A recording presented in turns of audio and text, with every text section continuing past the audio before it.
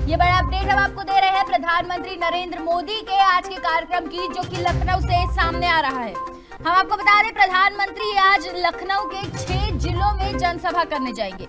छह जिलों के नाम आपको बता दें तो श्रावस्ती, डुमरियागंज, संत कबीर नगर में जनसभा करेंगे प्रधानमंत्री मोदी, जिसमें डिप्टी सीएम केशव प्रसाद मौर्य भी मौजूद रहेंगे। वही आपको बता दें, बस्ती, आजमगढ़ वाराणसी में भी प्रधानमंत्री की जनसभा होगी।